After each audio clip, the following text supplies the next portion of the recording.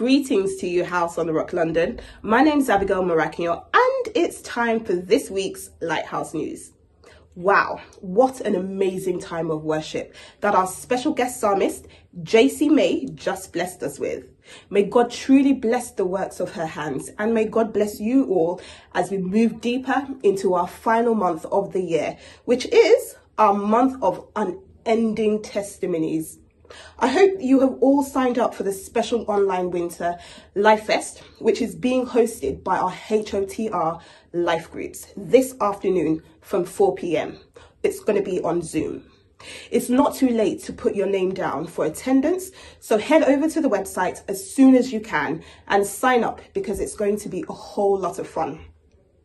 Our final midweek life class series of the year concludes this coming Wednesday on the topic of joy.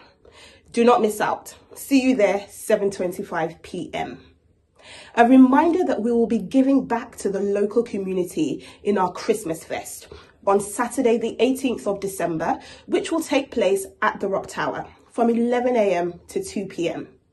Please continue to bring in your donations of non-perishable food items for the pop-up food bank, winter wear for our winter clothing giveaway, Christmas gifts for children of all ages, and financial donations.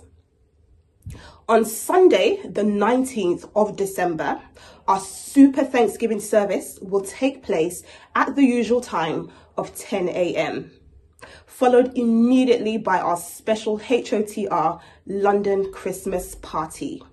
Join us at the Rock Tower with your dancing shoes, your party clothes, ready to have a great time in the house of the Lord.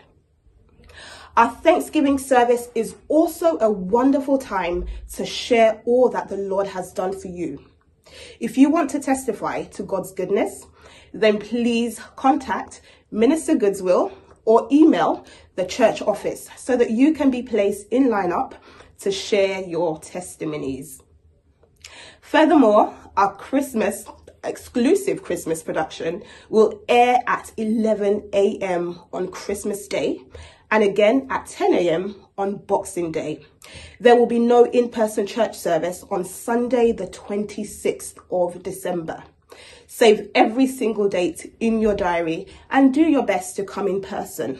But if you can't make it in, then you can tune in virtually via Facebook and YouTube at HOTR London or via our website.